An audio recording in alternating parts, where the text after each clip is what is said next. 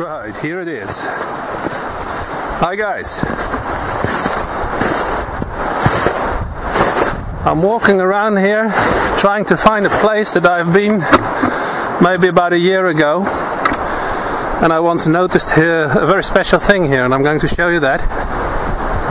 And also demonstrates a type of navigation that is a bit harder to uh, to explain really and that is because it's navigation purely by na- uh, nature awareness. Yeah, this was the the place I was looking for, and as you see here, I got two things. I got chaga on this uh, birch tree here, and also this fungi, and you see down here as well, but I don't think that will show on the camera.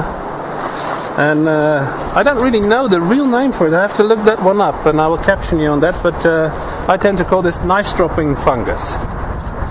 And this is excellent stuff to sharpen your knife or to, to strop your knife, uh, basically. It's like magic. If you cut this through half and just give a few strokes on both sides of your knife, you will you will notice an enormous difference. These two things, both the chaga and the knife stropping fungus, are very rare in this area here in uh, where I live. It's very hard to find them. Sometimes you do, and in this case, I kind these kind of things I tend to remember. And uh, like I told you, just walking through the woods somewhere and finding back a, a thing like this, it's really hard to explain, and I, I, can't really do it myself. Actually, explaining how this works. Uh, it, it is based on that when I've, I've always had that, that when I come into some place, I somehow register my the way I come in, the path I come in. I see the surroundings. I see trees. It doesn't matter. It's the same in a city for my for me, but uh, it can be years in between, and I will still remember and recognize things.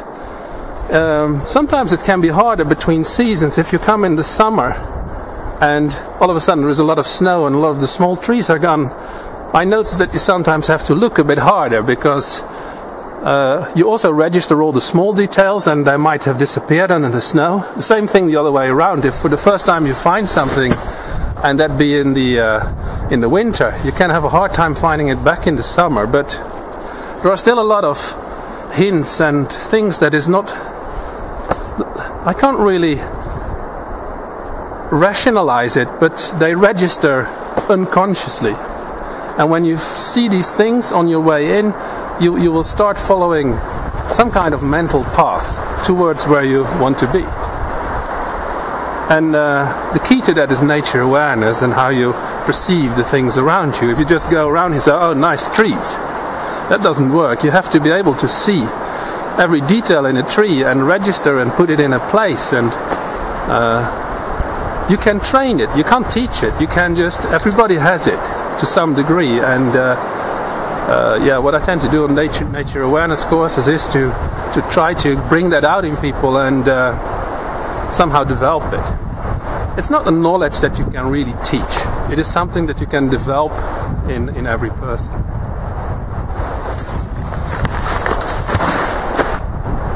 And if we just uh, pan around here, you see there are a lot of things here that that might register for instance, that little tree there, I can zoom in on that. You see the bark has been stripped by moose.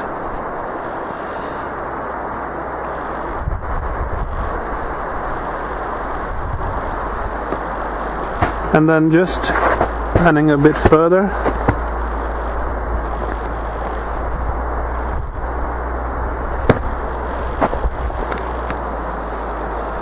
will see this kind of a, almost a, statue. There's old roots of a of a long dead tree, and that kind of thing tend to to register as well.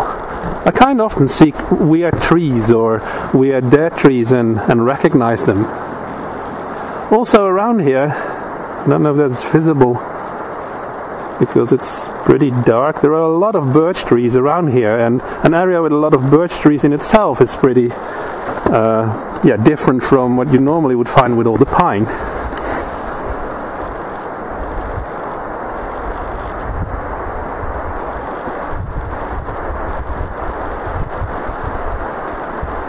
And then there you have a very special birch tree that has that's more like a yeah a lot of trunks upwards.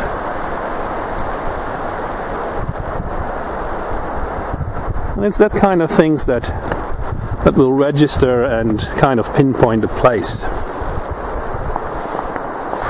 Right, so obviously uh, nature awareness is a pretty uh, important thing in, uh, in, in, navigation uh, in the wilderness. But uh, that's of course not enough.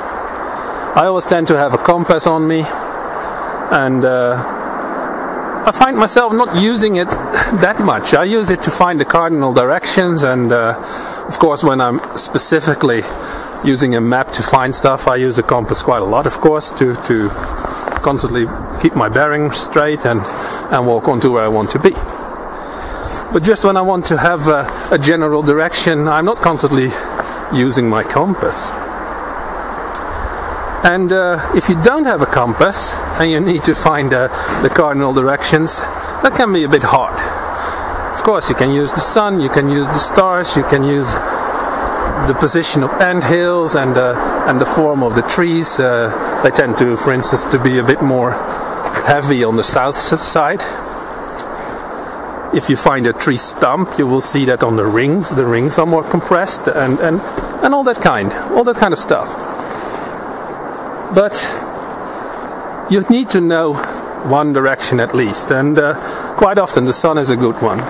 For instance, now it's completely cloudy, overcast, it's very hard, you don't see the sun. So, one trick that you can, can use is if you look at this very cloudy sky, you know, you see, because it's quite, quite light up there, that the sun is there. But you don't see it specifically if you would really want to see the sun. But what you can do, if it's not too cloudy, is to close your eyes almost to to to uh, yeah how would you say it? Uh, almost close your eyes and you will kind of filter out the sun and you will see the ball of the sun through the clouds. That's of course if it's not too cloudy. But then of course the, the sun will give you a greater indication of uh, of the cardinal directions provided you have a time. So I quite often have a, a normal watch on me.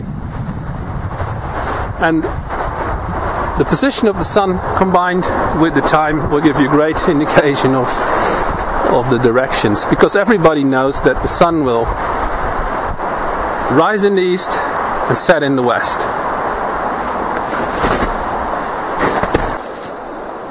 So, how does the sun give us the cardinal directions?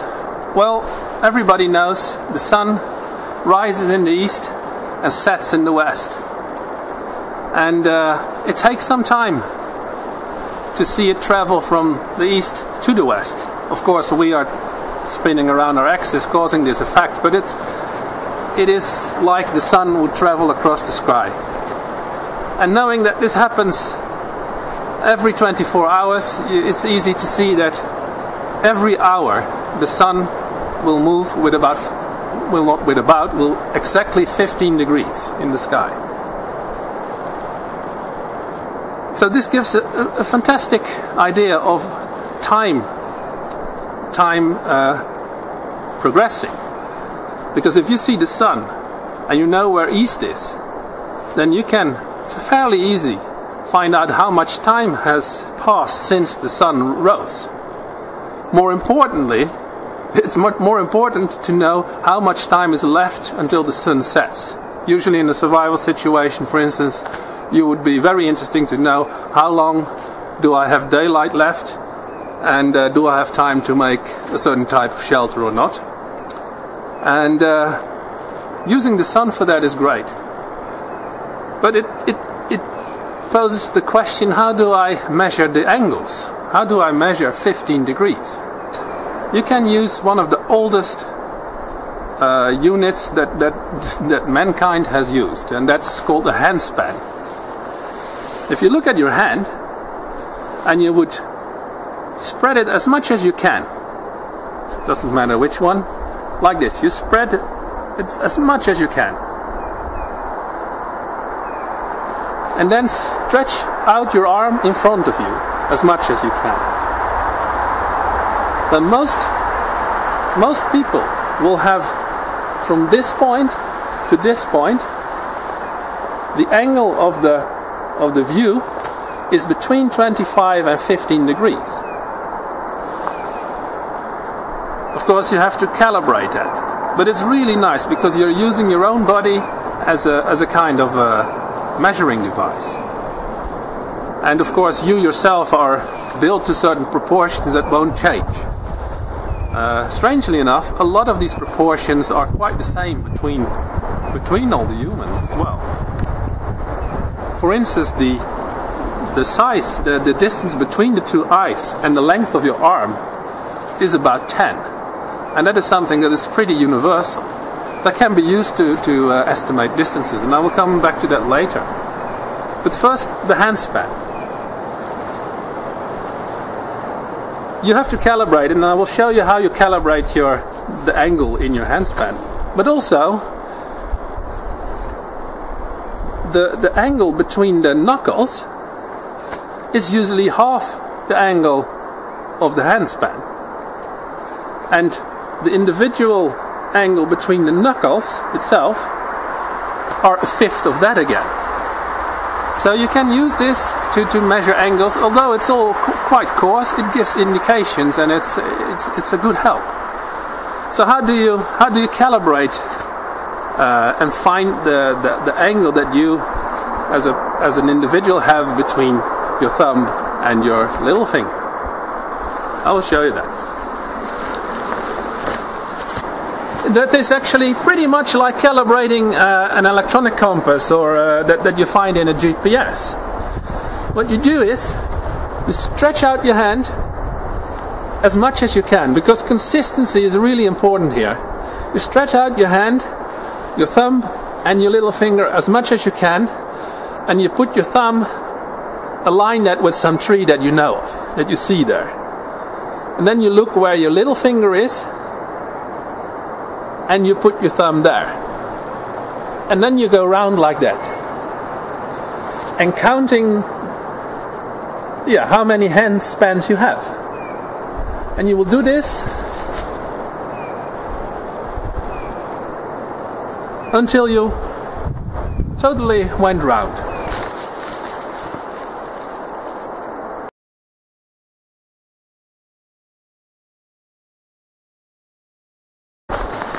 Well, that was 22. So I got 22 hand spans in 360 degrees. So now I only have to do the math. Luckily, my phone has a calculator, so that gives me a 16.36. So I would say 16.4. And if you use just 16, that would be okay, or 16 and a half. So this can be can be very different for all kinds of people because it, it depends on the length of your arm, uh, how much of an angle you get. If you if you pull your arm back, it will get a bigger and bigger ar- uh, angle. If you have a very long arm, it will be smaller.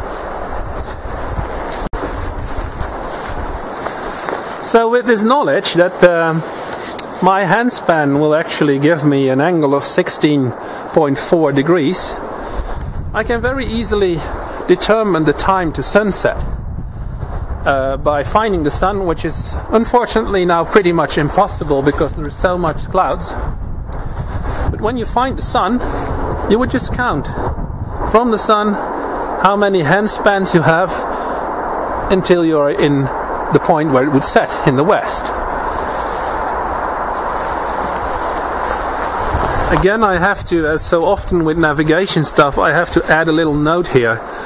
Uh, I am here above 61 degrees uh, latitude, which kind of uh, is a problem because the sun will set past the west, and uh, when it's about the 24th of June, it will it will almost go to to yeah, northwest, and it won't be it won't be even getting dark here.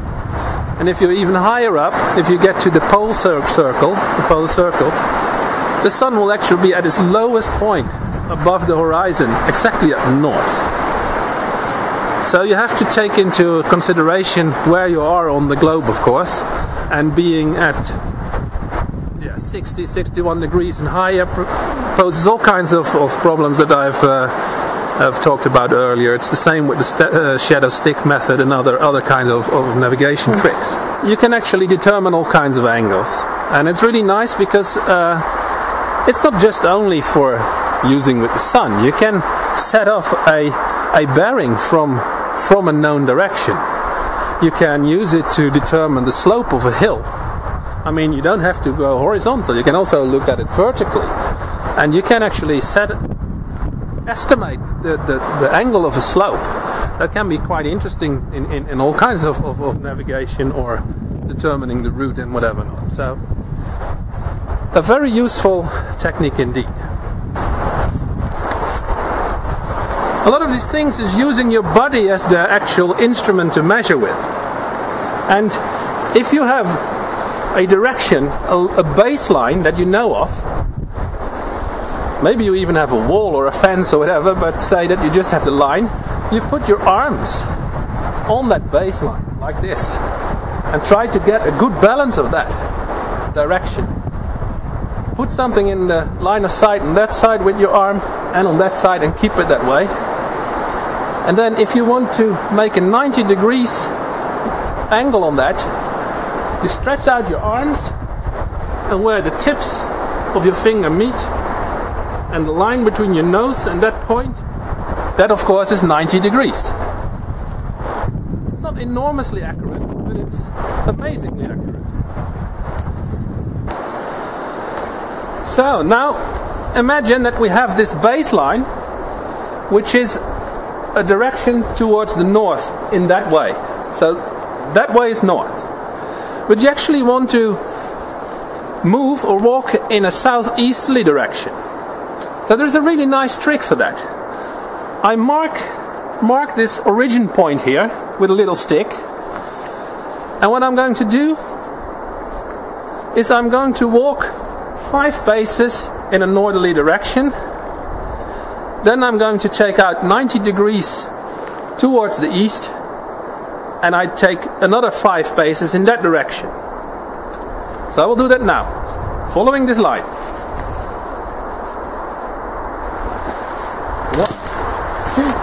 three, four, five. Here I'm at five bases and I'm going to take out a 90 degrees angle towards the east.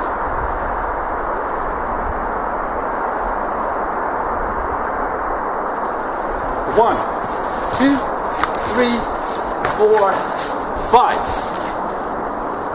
So now I'm here, five paces from the baseline and the line that I have to my origin point is now actually pointing southwest or in that direction northeast. And why is that?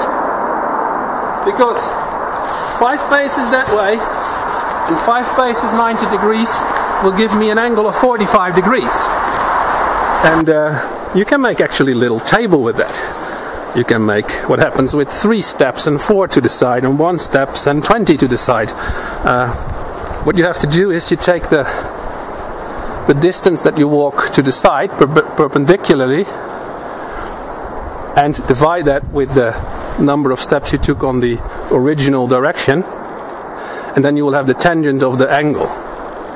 So that, that maybe is a bit mathematical, but it will give you all the angles you want. And you can get you just write some down or learn from from your head some very useful ones like maybe the ones for 45 30 and 15 degrees. And then in that way you can use this this method very easily while on the move.